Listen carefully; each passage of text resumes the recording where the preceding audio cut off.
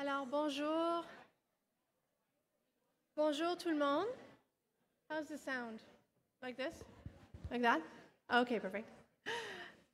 Bonjour tout le monde, je suis Véronique Couillard et je vous souhaite la bienvenue à la Galerie d'art d'Ottawa. Merci d'être venu prendre le thé avec nous. Hello, my name is Véronique Couillard, and on behalf of the Ottawa Art Gallery, I would like to welcome you and thank you for joining us this afternoon for Art and Tea at the OAG. Kwe, Pijashik, Odawa Ojichigan, Wabandahe Tawegamik, Ate, Anishinaabe Akin, Egawikod, Ka Pokedenegadek. The Ottawa Art Gallery operates on the beautiful Anishinaabe Aki. The Anishinaabe have been on this territory, known today as the City of Ottawa, since the beginning of time. All sorts of art forms have been and continue to be part of the vibrant Anishinaabe culture. Je prends un moment pour saluer la nation Anishinaabe, car nous nous trouvons aujourd'hui sur ces terres non cédées qui fournit à la culture de nombreuses sources d'inspiration. Our program will begin with opening remarks about our latest exhibition, Visions and Views Landscape and Abstraction in the Firestone Collection of Canadian Art, followed by the presentation Looking Beneath the Layers with OAG Chief Curator Rebecca Basciano and CCI Scientific Documentation Technologists Germain Wiseman. The presentation will be about 30 minutes and will be followed by our annual Firestone Chat with OAG Director and CEO Alexandra Badzak. It will conclude with a Q&A with the public. Je serai disponible pour faire de l'interprétation durant la période de questions si nécessaire. La présentation se déroulera en anglais. The presentation portion of the talk will be recorded and kept for future access. Veuillez noter que la présentation sera filmée pour des archives publiques. So please make yourself comfortable and, of course, help yourself to tea and refreshments on each table or as well as at the back of the room. And before I do introductions, I want to take a moment to thank our funders. Je vais prendre un petit moment pour dire merci à nos bailleurs de fonds qui euh, soutiennent notre programmation. La Ville d'Ottawa, the City of Ottawa, le Conseil des arts du Canada, Canada Council for the Arts, et le Conseil des arts de l'Ontario, also the Ontario Arts Council.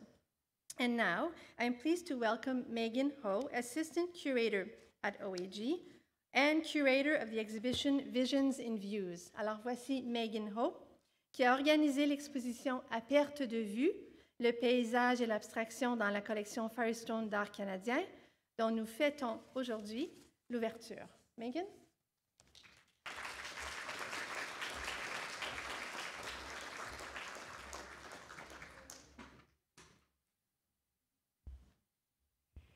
Merci, Vero, and thank you all for joining us today. I am thrilled to be here to celebrate and introduce the opening of our new exhibition in the Firestone Gallery on Level 2, Visions and Views. Spanning the modern period and including over 1,600 pieces from a wide range of styles, regions, and time periods, the Firestone Collection of Canadian Art, or FCCA, is a significant collection that was established by the Firestone family in the early 1950s.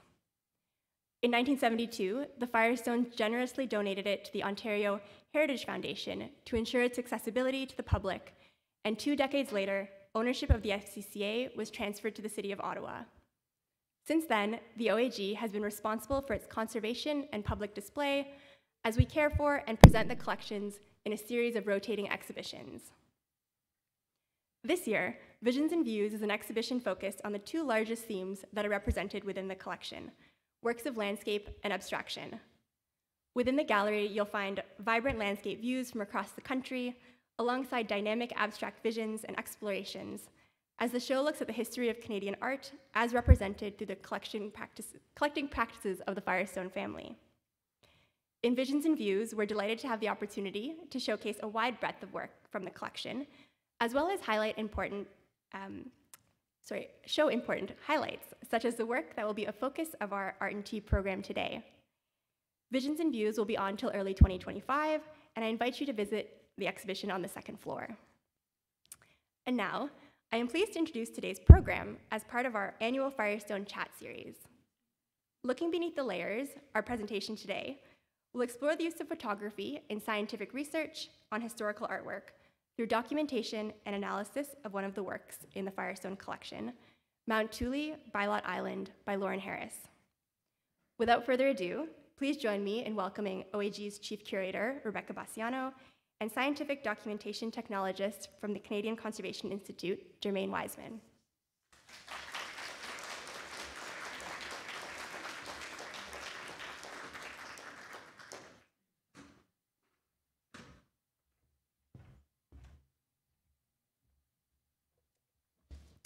Hello, everyone.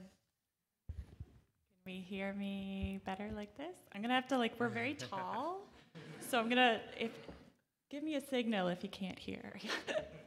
so thank you so much for coming out today. It's lovely to see the room full like this. Um, so my name as is Rebecca Basciano. And my name is Germain Wiseman.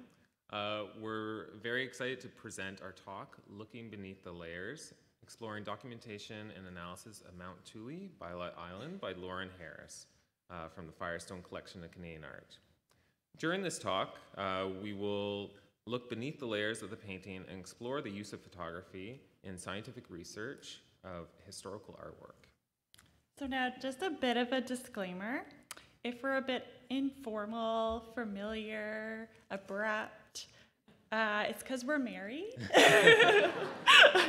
um, this is a actually super rare instance where our paths have crossed in a professional capacity, which is super fun. Um, we're in a similar field, but we're approaching this work from different perspectives. So um, if you want like a TV like crime metaphor, I'd be like the lead detective, and Germain would be like the forensic scientist. Um, but in real life, uh, I'm a scientific documentation technologist at the Canadian Conservation Institute. The Canadian Conservation Institute, otherwise known as CCI, is a part of the Canadian heritage. Um, we advance and promote the conservation of Canadian heritage collections through conservation science, treatment, and preventative conservation. We serve uh, institutes across Canada, but we're actually located here in Ottawa. And as the chief curator at the Ottawa Art Gallery, I'm always looking to deepen our research and knowledge about works in our collection. So uh, this work here, uh, Mount Thule, Bylot Island by Lawren Harris, is one of the most beloved works in our collection, in the Firestone Collection of Canadian Art. And through recent investigations, we've discovered secrets hidden beneath its surface. But before I get to that, I'd like to provide a bit of context on the life of work of Lawren Harris. So in the early years, he studied in Berlin, and it was there that he learned about Impressionism and Post-Impressionism, and also became interested in the philosophy of theosophy. He then came back to Toronto, and around 1910, he started painting urban scenes. In Toronto, he also joined the Arts and Letters Club, which you may have heard of, and he met fellow artist J.H. MacDonald.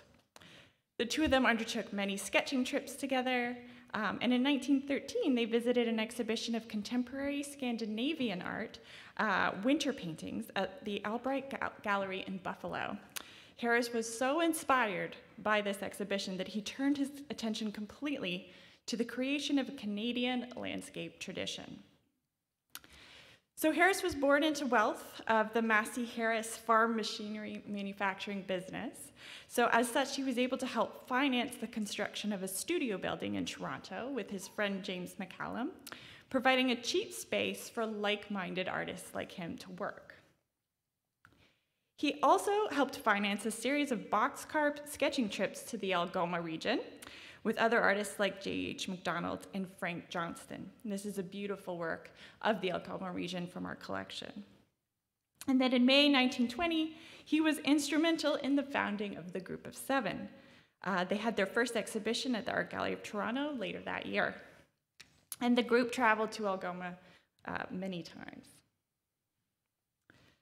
Uh, in 1921, Harris uh, and fellow artist A.Y. Jackson went beyond Algoma to Lake Superior's North Shore.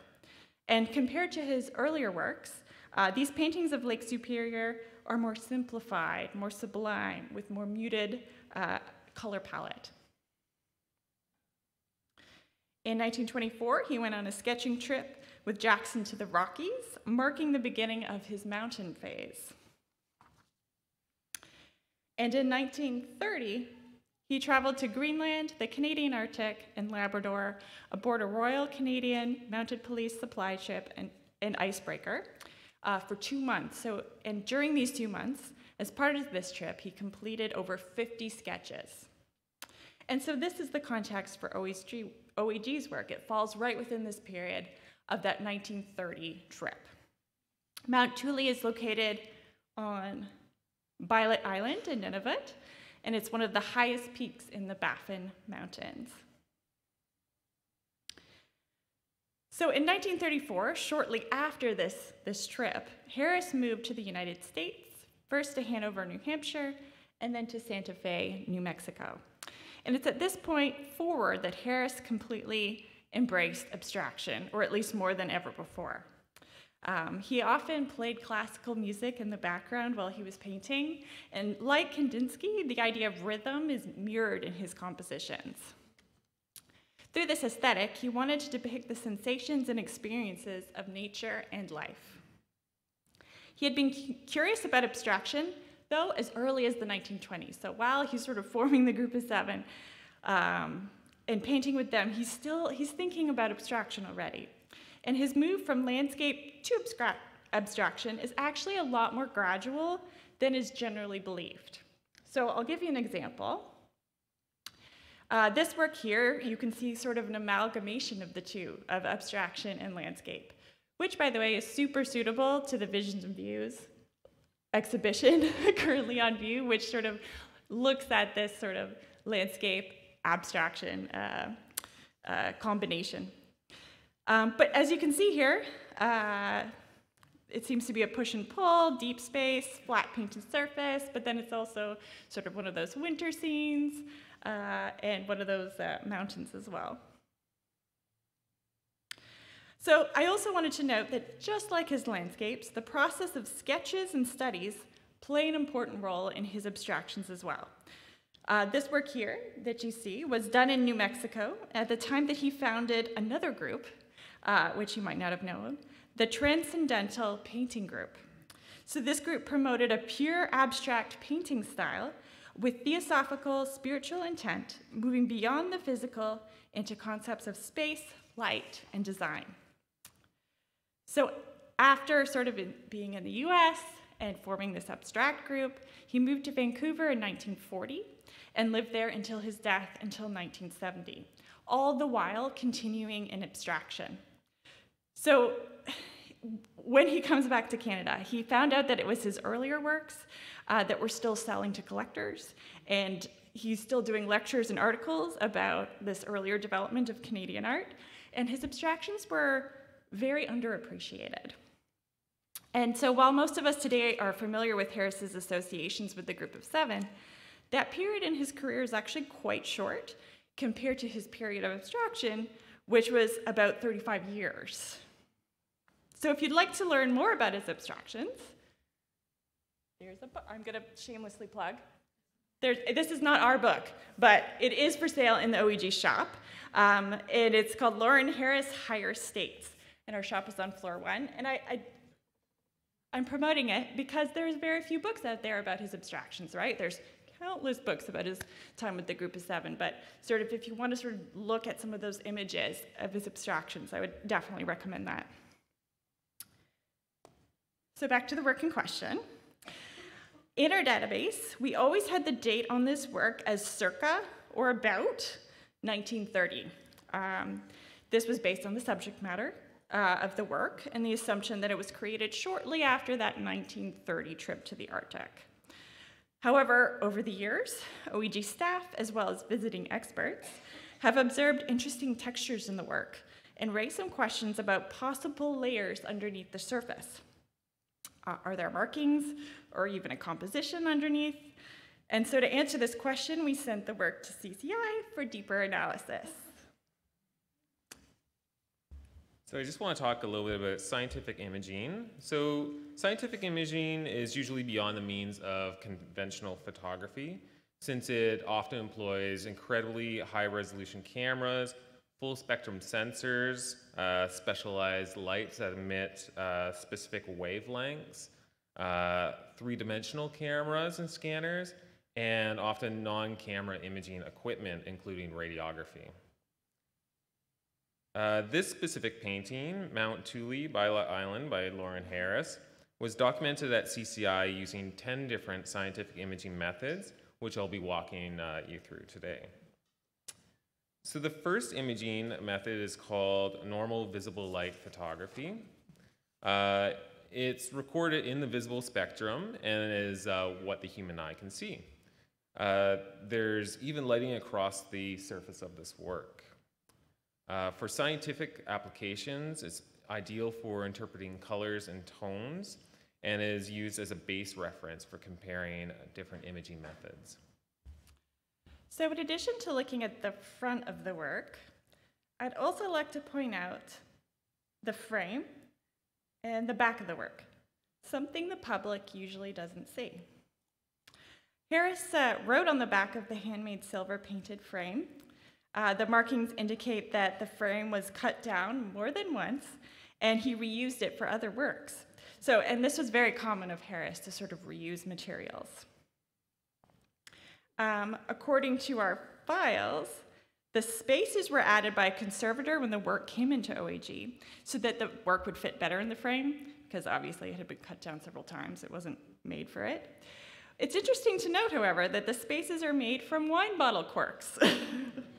I bet you didn't think that wine corks were behind some of the works you're looking at in a gallery.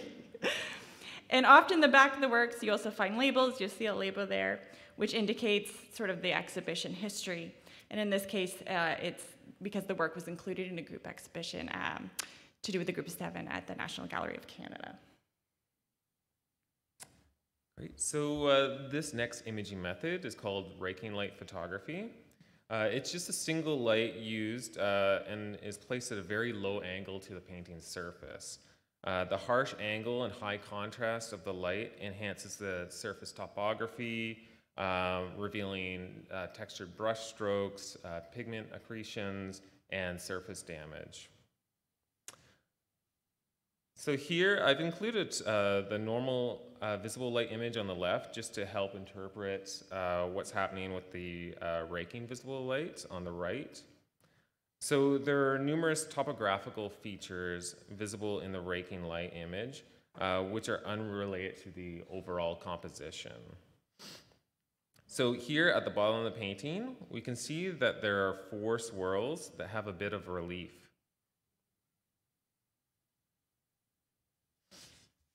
Can you all see those swirls?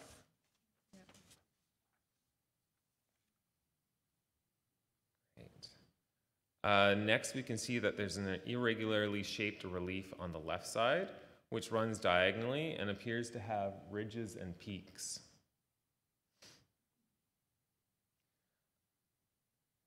There are also vertical relief lines on the left and right side of the canvas.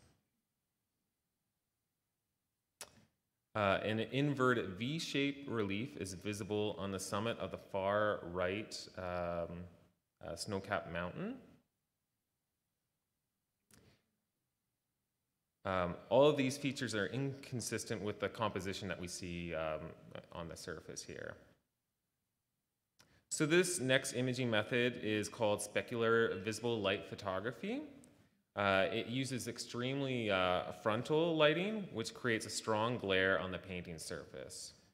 Although this might not be ideal when you want to get like a nice photo of a painting, um, but this direct lighting reveals differences in uh, surface uh, sheen and texture. So again, um, we see the large swirl-shaped brushstrokes at the bottom of the painting. Um, we also see the irregularly shaped um, object on the, oh, on the left side uh, with ridges and peaks. And this supports what we see in the uh, visible raking light image. The next imaging method uh, is called transmitted visible light photography. Uh, two lights are uh, positioned behind the painting and directed at the back of the canvas. The camera is positioned in front of the work, uh, facing the painting, uh, and the boundaries around the painting are masked so that only light which is transmitted through the canvas can be recorded. Uh, the painting was supported on a translucent easel that's been custom built for this purpose that you can see on the right. Um, so we see, uh, we can see an inverted V on the summit of the far right snow-capped mountain. Again, there's also significant cracking that follows this V shape. Uh, we can see that there is another larger inverted V at the top left section of the painting. Uh, like the previous shape, this one also has significant cracking.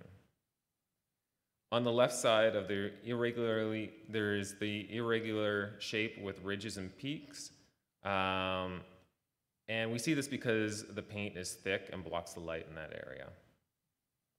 Uh, we again see the vertical lines on the left and the right side of the canvas.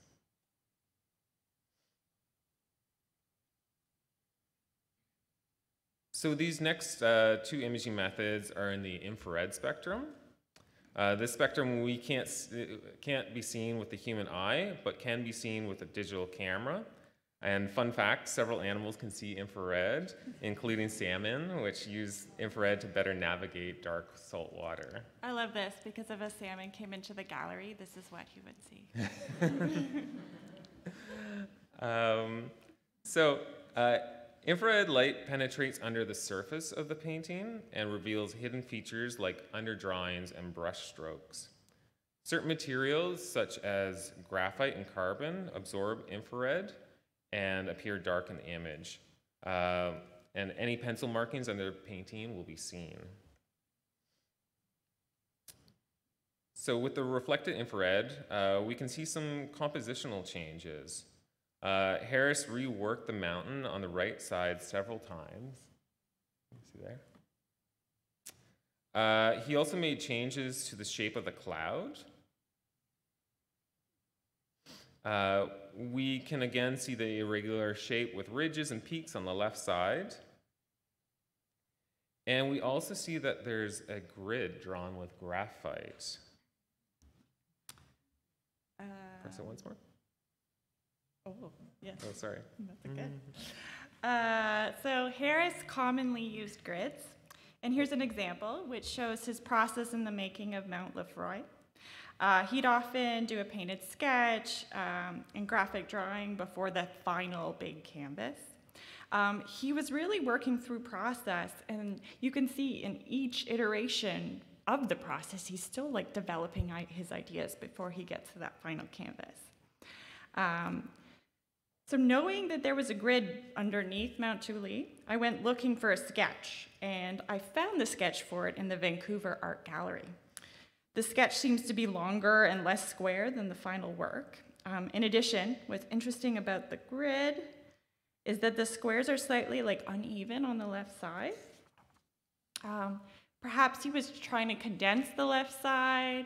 This is a guess, but it also might account for like why he was reworking the mountains on the right. Um, so taking one format and putting it into a more square format.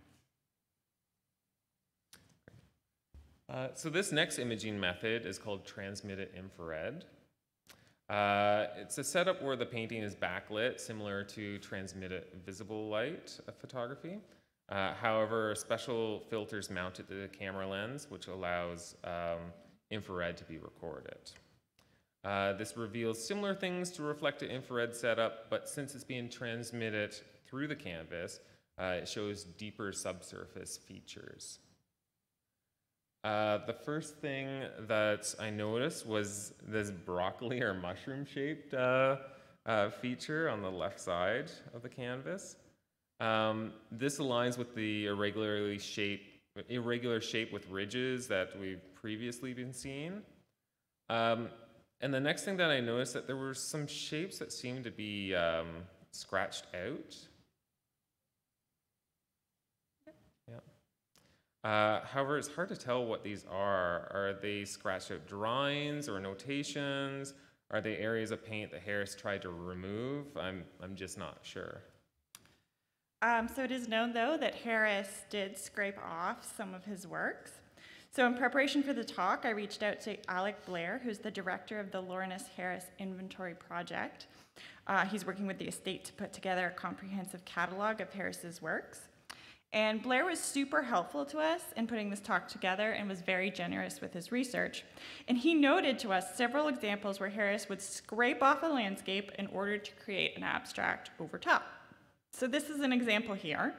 Um, it should like look like what's on the right. So he, there are notations on the back of all his works. Number 36 goes with, you know, board number 36.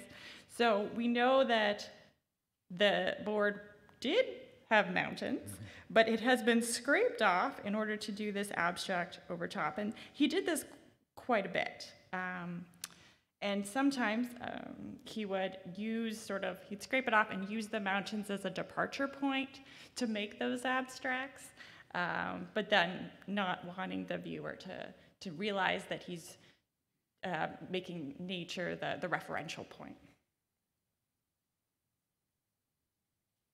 Okay, the next imaging method here is called visibly induced IR luminescence. Uh, this is a unique technique that uses luminescence, uh, which is where you illuminate an object in one spectrum and it causes a glowing in another spectrum.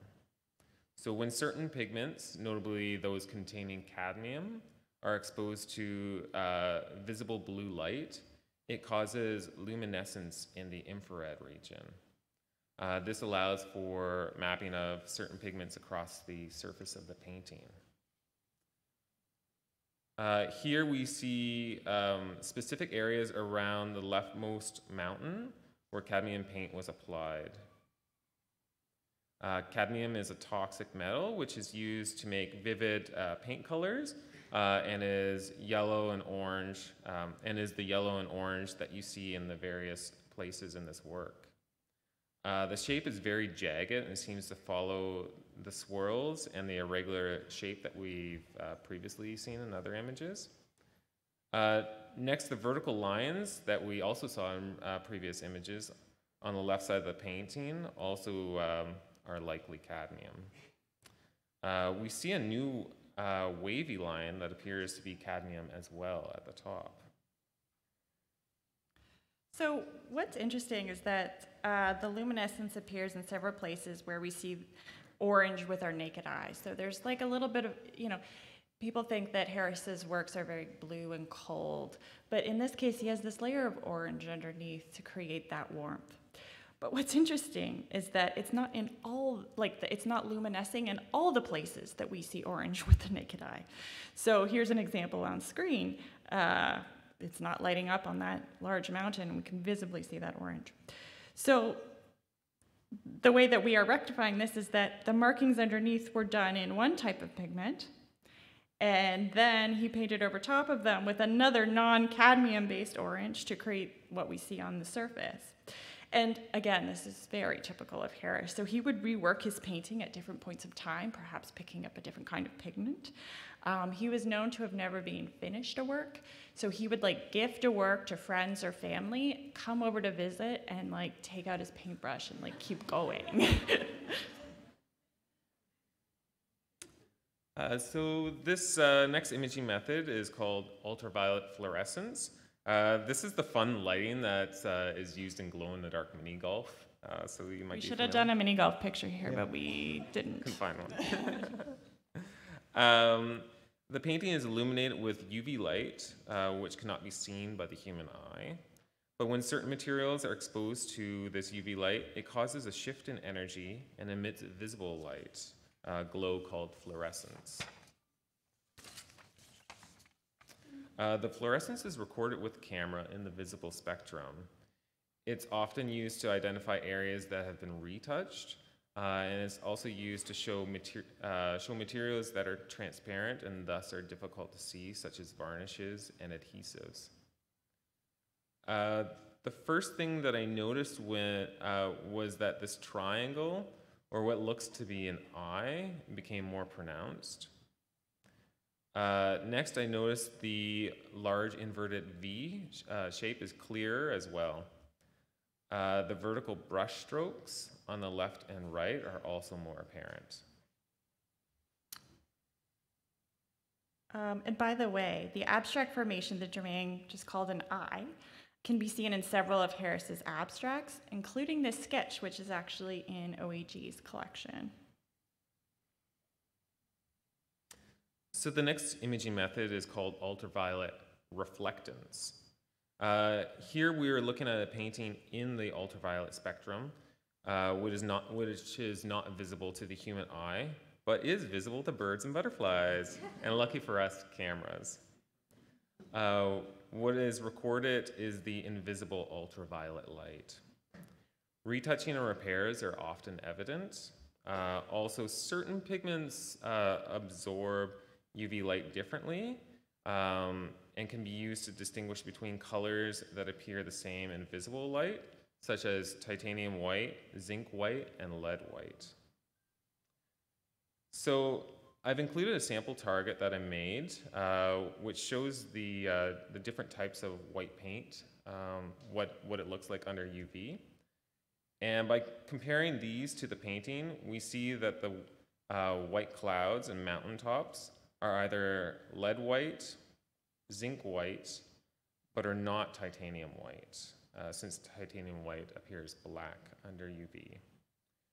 Uh, we can also see that there's been some very minor retouching that's happened at the top of the painting. So the final imaging method that I'll, I'll show is computed radiography. Uh, it is a digital X-ray imaging process, and if you've ever had your teeth X-rayed, it's a very similar type of X-ray.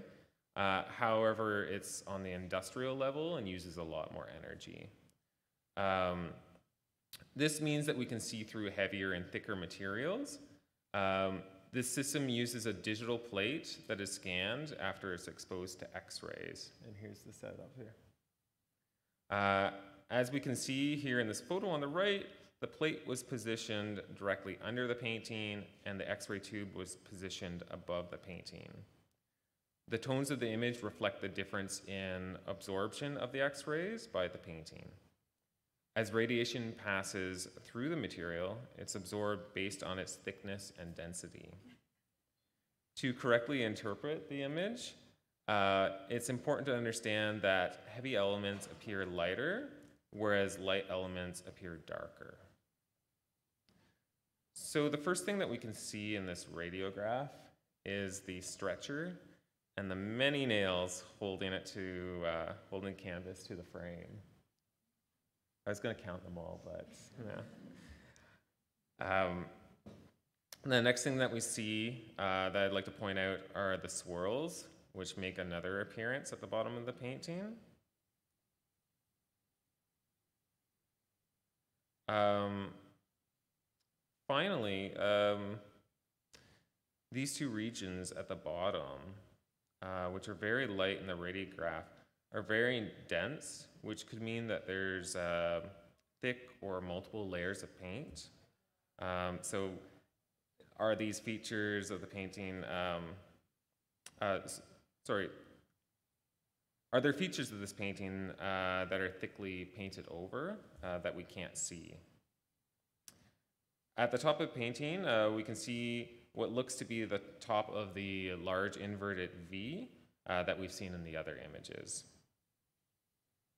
So based on these imaging methods, I compiled the results into one image, and there's also a simplified version. uh, so patterns start to emerge, and so we went searching for other known works that have these same patterns. Uh, the semicircles, vertical lines, wave-like patterns can be seen in many of his, abstractions. Um, mostly his abstractions from the late 1950s. And with the help of Alec Blair, we found a work with the exact same semicircles. Um, it, this is one of those scratched off works too, where it used to be a landscape, and then he Harris scraped it off uh, in the late 1950s to create this sketch here. Uh, not- notice also that there are grid lines behind this abstract. If we rotate the work, you can see these semicircles more clearly, and even the triangular shape on the left, as well as the waves on the top. And this pattern can also clearly be seen in other works. Uh, it was obviously an idea that he was developing in the mid to late 50s um, and is in line with his style and uh, his ideas of the time. So while it's known that Harris would scrape off his landscapes in order to do an abstraction, we do have an example where it is done in the reverse. So this is a photo um, uh, of Harris's studio, and uh, this sort of discovery is uh, credit to Alec Blair. Um, he noticed sort of that work on the, uh, on the palette there. If we sort of enhance that picture, this is what you see on the left. Um, so Blair went looking for a larger work that corresponded to this and actually found it underneath this landscape painting. So visible to the eye and perhaps a little bit of that raking light Germain was talking about. Can you see that circle underneath? So while Harris went through phases of aesthetic development in his practice, what's evident is that he returned to landscape on and off throughout his career. So while he was doing landscapes, he was still scraping some of them off and returning to his sort of traditional landscapes. Uh, so again, just big thanks to Alec Blair as well as the Harris Estate. So if you or someone you know has a work by Harris, please do get in touch. Go to the website here um, because it will help with further research and talks like this. I would, those works that I showed that had that, those similar markings were from private collections. So what are our conclusions here? Well, the markings underneath, are they a complete composition? More than one composition? It is really hard to tell. Uh, but since the x-rays show dense areas at the bottom, it's possible he covered up even more that we cannot see that he was reworking this canvas and ideas uh, several times. But what I think we can say for certain is that underneath Mount Thule are abstract forms that Harris was working with in the mid 1950s, when his abstractions became more fluid with rounded forms and less emphasis on deep space. While most of his paintings in the North were done shortly after that 1930 trip, I would say that most likely he kept that sketch from the 1930s and then decided to paint it large in the 1950s, well after he had moved into abstraction. So we'll end by saying that while this scientific analysis offers so much insight into the work, it cannot replace standing in front of it, and you can go see it in Visions and Views, currently, I'm pointing at, currently on the second floor, and I encourage you to go take a look. Um, Harris is noted as saying, quote, we cannot discover the spirit of a work of art by dissecting it, any more than an anatomist can find life or consciousness by dissecting the body. So the spirit of this work will continue to inspire visitors to the gallery, while the secrets lie hidden beneath. Thank you.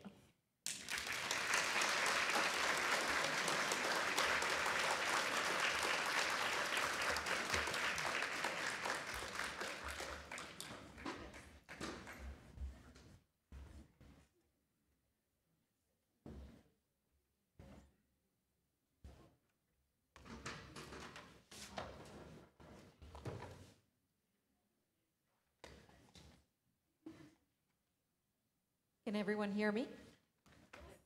Okay, wonderful. So on behalf of the Ottawa Art Gallery, I want to thank everyone again for, for joining us today. Uh, I think it's been just such an amazing journey uh, on an artwork. We've often said that the Firestone collection of Canadian art uh, is, is just a, a, a, treasure that just keeps on giving in terms of our understanding of, of the Canadian art canon. But it's wonderful to dig very deeply into one particular work, especially uh, a work uh, by an artist that's so famous, uh, Lawren Harris from the Group of Seven. You think, in many ways, he's, he's probably the one artist who we know the most about. Uh, and yet, there's so much more uh, to learn about his practice. And so, it was wonderful by both research and, and science that we were able to dig deeply uh, into, his, into his practice uh, and into in his philosophy, uh, and it really, really gave us a new insight I guess, into the work. I will say that we, uh, we had often put this work as circa 1930s. So that's going to change, isn't it? Yep, the, la- oh, yeah, the label will now change.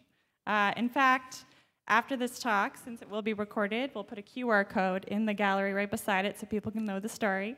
And it will say circa, no, it will say mid 1950s. That's what it will say. of a 1930s, yeah, I haven't figured it out yet, of a 1930s subject. Yeah. And this is sort of new for us. And uh, by the way, I didn't introduce myself. I'm Alexandra Badzak, the director of the Ottawa Art Gallery. Uh, we like to have the Firestone chat every year. It's now become a bit of an annual thing for us, uh, so that we, again, we can sort of find some great stories uh, through this collection. So I'm going to ask the question that, that's probably pre- prevalent in a lot of people's minds. How do we know that this is a Harris work? Right. So this is definitely a Harris work uh, for many reasons. It's very consistent, as I hope you will see, with his style in the 1930s, but also the style underneath is very consistent with his aesthetics. His choice of canvas, the writing on the back of the frame, uh, all very consistent. The pigments with a Lawren Harris work. Yeah. And then, yeah, exactly. So we've got those little little treats, uh, especially when you were showing us the the back of the canvas. That really starts to reveal some of some of those aspects. So we know that uh, O.J. Firestone um, really enjoyed getting to know artists. Uh, so he would spend time uh, building up friendship. He had a very strong friendship with A.Y. Jackson in particular. Um, did he know Harris? Yeah, uh, he did. So I think there's a statistic that about 90% of the artworks in the Firestone collection of Canadian art were purchased directly from the artists themselves. So the Firestones really did make an effort to become friends with, or at least really know the artists that they were collecting. So they did know Harris. Uh, they, you know, OJ would travel to his house. The Algoma picture, which I which I showed you on screen, that's in our collection. There's a story behind that. They went into Harris's house, and he said, "Oh, what do you have for for sale?" Uh, and they went down to the basement, Harris's basement, and they were looking through works, and they opened up this box and they found this work and harris was like oh yeah i completely forgot about that one and then firestone purchased it so definitely uh, this work would have been in the th- same lines as that going into harris's home and purchasing it directly from him Right. Yeah. right, exactly. And so we know that Harris is probably one of the most famous Canadian artists out there, and certainly on the art market has done fairly well, and, and certainly recently with you know the attention that Steve Martin and, and a lot of other uh, folks uh, have you know provided him attention. What do we sense uh, has been the change in value over the years? hmm So this work, I think in the mid '90s, was about worth about eighty-four thousand dollars, and I was looking for my notes before, but I think it's now worth three point five million uh, dollars. And so Harris certainly has had a lot of interest in the art market, especially starting in the early 2000s, and his work has broken the Canadian art market records time after time, several times, and. Uh, of course, the interest from Steve Martin, our celebrity, in the work of Harris's work, and in him co-curating the show idea of North, uh, has certainly had an interest internationally by collectors as well. And do we think that this analysis will change the value of this work? Not at all. I think it's mo- more interesting from an educational point of view, and from a value, it's it's it's still a Harris. It's still 1930s subject matter. Uh, I, we do subject ev- all of our works in our collection to to appraisal, but we have no reason to believe that it's going to drastically change. So let's get back into the technology a little bit. Um, so, uh, you know, I guess I'm curious, uh, Germain, with all the work that CCI does, um, with with the photography that was done, is it typical to have so much information revealed? Yeah, so so um, this project was really unique uh, because every single imaging method that I used uh, revealed something uh, about the work, uh, which is really great and not not always typical with uh, with different artworks or artifacts. Um, this is really because of the materials that Harris used. Um, if if this particular painting was a was a sketch on a, on a, a rigid board, uh, wouldn't have been able to use any of the transmitted uh, light imaging. Um, and also uh, things like the uh, visibly induced IR luminescence. Um, that's um, uh, that only works for paintings with like uh, cadmium pigments, uh, and cadmium uh, started to be used in like the the 19th century till now. Um, it can also be used with Egyptian blue, but that's ancient Egypt, and you know there's a big gap between that and the 19th century. But uh, so it sort of falls within that uh, that time period. So um, yeah, so that was something about the uh, the artwork that uh, really worked well with the imaging, and also some artists um, might not do like uh, like grid lines or or under drawings, um, but because Harris did, and uh, it's uh, it revealed itself in the IR. So that's that's why it was so uh, fruitful. Yeah, So, exactly. yeah. Exactly. Is there further analysis or, or research uh, that we could do? Yeah, like um, again, the IR was really useful, um, and I think that uh, if we image it further with uh, with a longer wave um, infrared, uh, it could uh, reveal more, or at least just uh, make a clearer image uh, for us. We don't, we don't. It's a specialized camera. We don't, we don't have that particular technology at CCI, but other institutes do.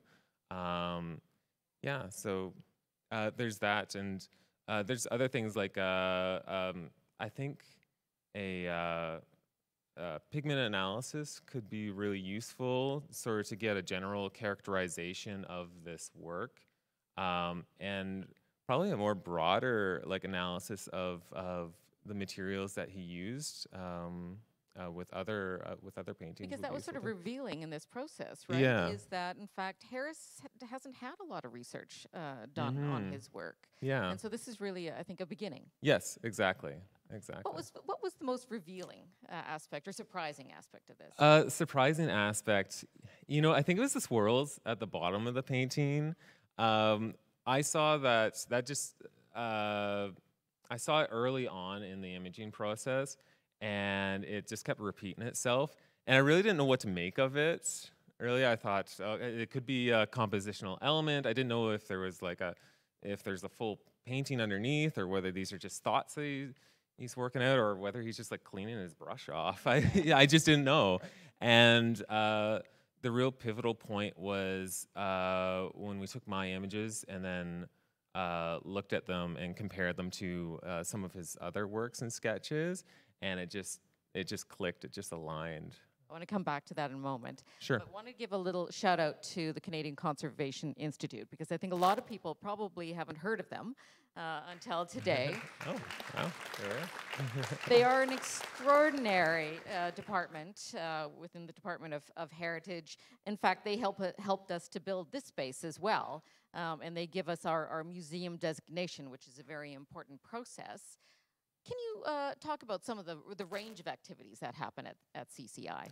Uh, at CCI, yeah. Um, so we have a um, um, uh, conservation science team that does analysis and, and uh, scientific investigations, but we also have uh, our uh, conservation team that uh, that conserves a, a wide range of objects from archaeology to uh, historic furniture, um, uh, paintings, works on paper. Uh, we do textiles, uh, many, many, many different uh, objects. Uh, and uh, our, our um, preventative, pre- preventative conservation department um, provides advice and guidance.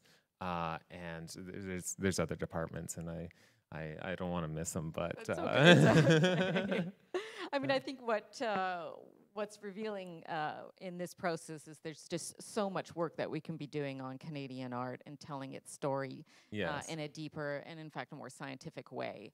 Uh, and I think we really are just kickstarting that uh, in so many ways. And so let's go back to Harris's work.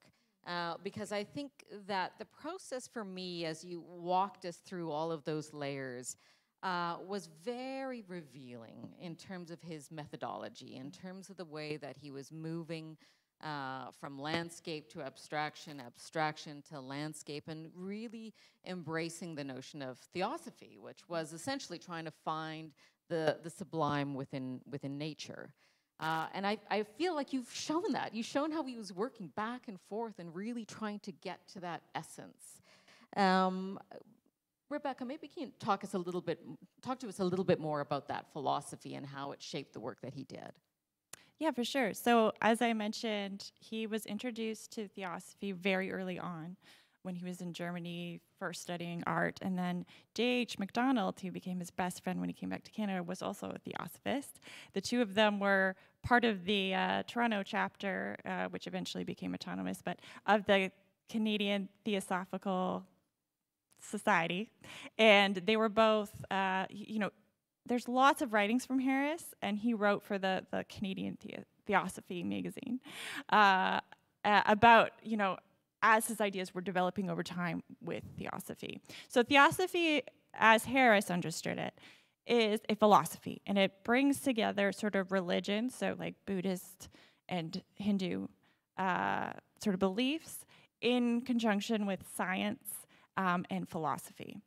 And so he thought his mission, you know, he's always moving forward with his practice. His mission was to sort of imbue those works with the theosophical ideas. And so when he went to New Mexico and founded the Theosophical Painting Group, uh, this is sort of where it, it, comes to the fore. However, I will say in critique of it, um, applying these sorts of ideas to the Canadian landscape for a nationalist agenda um, it's about this reconnection to nature and everything. Um, there is a bit of a sort of colonial pursuit in there, sort of purging from Eastern philosophy, and then, um, and then uh, combining it with. Uh, you know, a sort of, I need to reconnect back to this land, but really it's not your land. Uh, but uh, certainly at the time, uh, it was very popular among artists, and it was uh, something that pushed that national agenda forward. Absolutely, and it's sort of what the Group of Seven, in, in so many ways, is kind of uh, known for and, mm-hmm. and, creating for for Canada. So I know that there's going to be a lot of burning questions uh, from the audience. Uh, so I do, I do, I'll get to that in, in just a moment. But, but for my final question, uh, I want to again bring it back to the artwork. We know, as you mentioned earlier. Uh, that this is one of the most beloved artworks uh, within the Firestone collection. Uh, and you know, I had a conversation uh, with somebody earlier today about why why this piece resonates. Uh, why do you think it resonates for so many? Um, well, first of all, it's a beautiful piece. I encourage you to go stand in front of it. Uh, there's something about these simplified, majestic forms. Uh, th- there's just something about it. But I think um, beyond the aesthetics of the work. Um, it will continue to resonate for various reasons, one of which perhaps is environmental reasons. Mount Thule is uh, will not look like that. That's a, that has captured a particular moment in time.